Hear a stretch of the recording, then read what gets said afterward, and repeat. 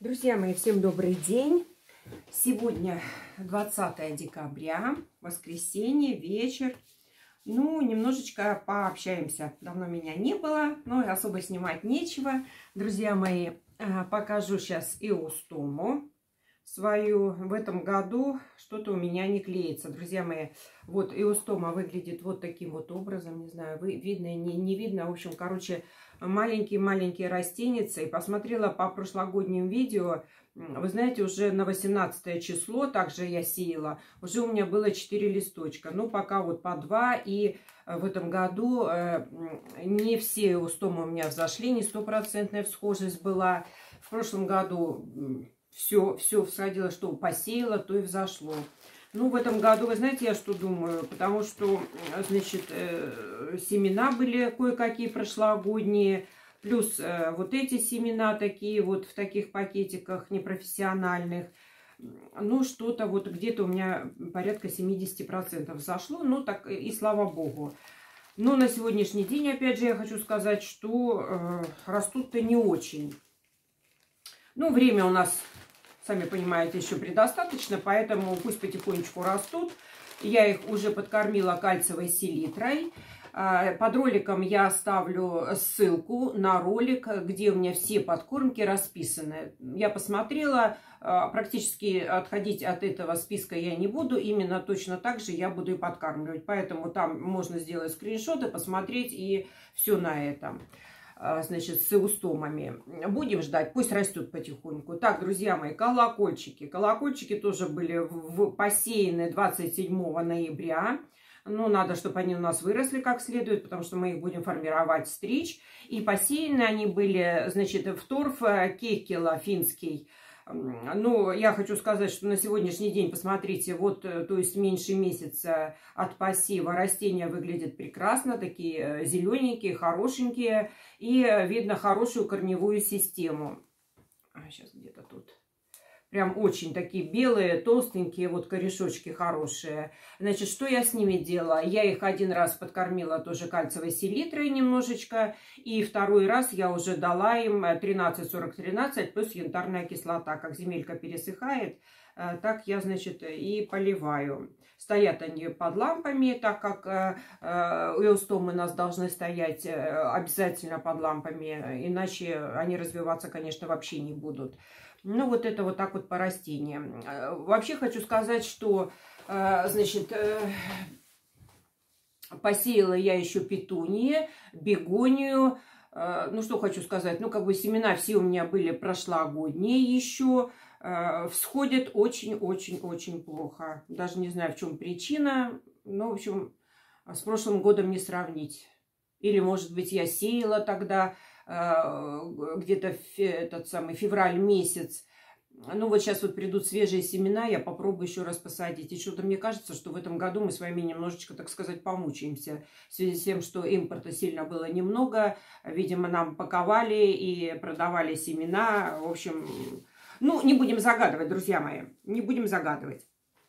Вот. Ну, я-то что хотела вам сегодня еще рассказать. Сестра мне распечатала вот такую вот статью. F1 не едим. Насколько безопасны гибриды и чем они отличаются от сортов.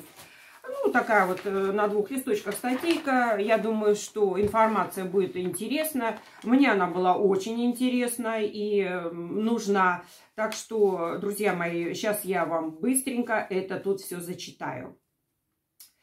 Так, последнее время среди дачников вдруг, э, вдруг активно поползли слухи, что гибриды F1 есть нельзя, и они чуть ли не угроза для здоровья. И только сорта можно выращивать без опаски, и э, как именно делали наши предки. Что же на самом деле? Действительно ли гибриды таят в себе такие риски? Разумеется, это неправда. Главное отличие, друзья мои, сортов от гибридов, сортов от гибридов, э, это стабильность характерных для растений признаков – то есть сорта сохраняют признаки э, при пересеве семян, семян от полученных плодов, а гибриды не всегда. Сами все это мы прекрасно знаем.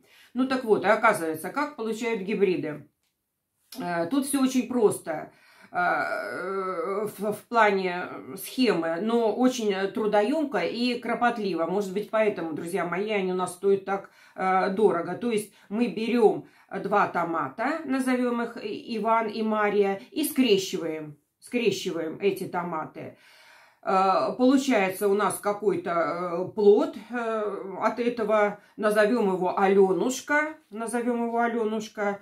Вот это и будет у нас гибрид F1. То есть нам нужно что? Иван и Мария мы скрестили, получилась Аленушка F1. То есть это нужно проделывать каждый божий год, чтобы э, здесь э, дальше не распадалось на какие-то там еще э, семена, то есть трудоемко. Вот. А как же получают сортовые семена и сорта? То же самое, то есть первый год мы берем, значит, тоже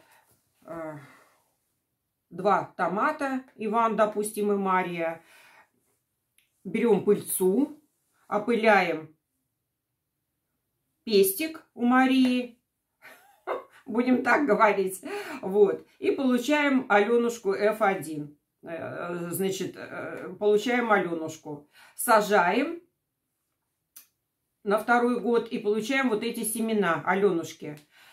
Вот. И дальше уже третий, четвертый, пятый, э, до шестого года. Здесь э, в процентном соотношении. То есть посадив эти, эту Аленушку на третий год, мы знаем, что у нас гибриды, э, это самое, некоторые, э, у некоторых получаются, а у некоторых, так сказать, что-то совершенно непонятное получается. Так что 20% уже будет от Аленушки на третий год, на четвертый год 50%, остальное будет, э, значит, Иван или Мария, или вообще 30% ничего. На пятый год 80% Аленушки, и уже шестой год, шестой год год высаживая этот же все, э, эти же томаты, друзья мои, получаем стопроцентные уже э, сортовые э, семена. То есть, видите, такой довольно-таки длинный процесс.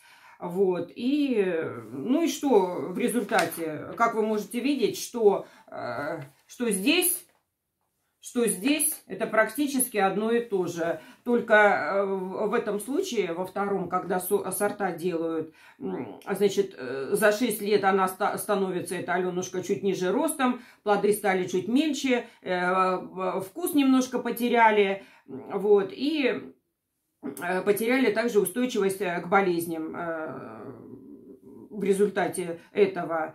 Вот, но... Ой вроде все просто-просто, э, все понимаю, не знаю, как сказать. То есть э, со временем э, все вот эти теряют гены от родителей, от родителей, и, ну, остаются какие-то сортовые у нас особенности, а, вот этого. Ну, что я хочу сказать, что в принципе, в принципе, как бы, ну, не, ну ничего страшного, что э, сортовые томаты, что, что гибриды, и может даже еще и, и лучше, что э, при наших таких условиях и экологии э, я считаю, что гибриды можно, нужно сажать, и без них мы никуда. Вот, на, но на основе этого, друзья мои, пришла мне такая, знаете, тоже мысли насчет вот манго-джанга. Допустим, э, многие очень позапрошлом году приобрели манго-джанга, э, такой по описанию очень хороший томат. Но на следующий год э, вырос у кого-то все-таки вырос, а у кого-то там вообще, у меня были э, такие э, пальчики небольшие, кусты были 70-сантиметровые, кто-то писал, что у них вообще черри выросла. То есть, значит, видимо, биотехника поторопились, и вот это по, по четвертому году, вот эти 50% они нам продали. Мы высадили, и у нас получилось у кого-то, значит, манго-джанга, у кого-то вообще бог знает, что выросло. Э, значит, было много нареканий, они, видимо, сняли их с производства и стали дорабатывать. Вот. У Свет... Э, мне подарила семена манго-джанга Светочка, то есть у нее он попал нормально, значит, и Э, я уже посадила, и считайте, у меня как бы это шестой год, и э, То есть у нас уже 100% семена идут именно манго-джанго. И уже в этом году встречалась и биотехника тоже опять начала продавать эти семена. То есть, видимо, они довели его до ума. Ну что, можем посмотреть всю эту теорию в практике на э, черри сакура. Я в этом году много собрала семян с черри сакура. Прекрасный томатик. И очень многим я тоже отправила эти томаты, э, семена этих томатов. Вот, э, я думаю, что в конце лета напишут, у кого же все-таки получились именно вот эти черри сакура, потому что мы знаем, что это должно быть. Вот, у кого, может быть, что-то другое выросло. Тоже очень интересно. Я, я сеять свои семена не буду, потому что у меня, э, во-первых, места мало, и во-вторых, значит, у меня есть семена черри сакура.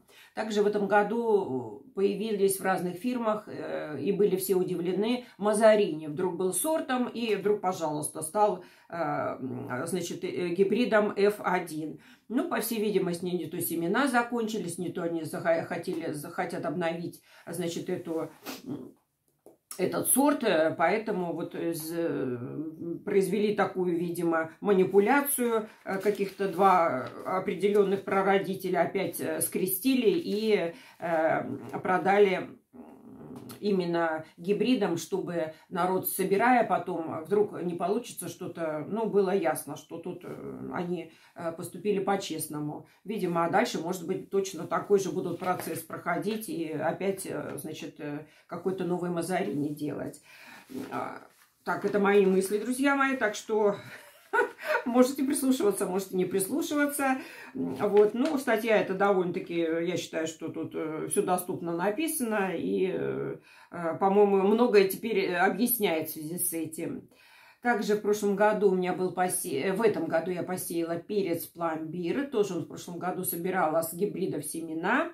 Пломбир вырос один в один. А вот клава, друзья мои, то есть Костик был совершенно там, он и Э, во-первых, э, где-то до метр тридцать вырос, ну, э, видно, так сказать, расщепилась вот на этом семечке это, этот, этот гибрид. Ну вот, что я хотела рассказать вам по гибридам.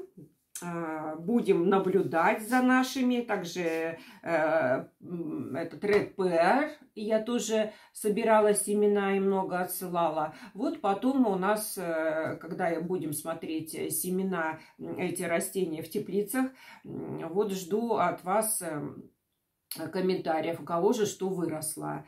Черный Крым это сортовой томат.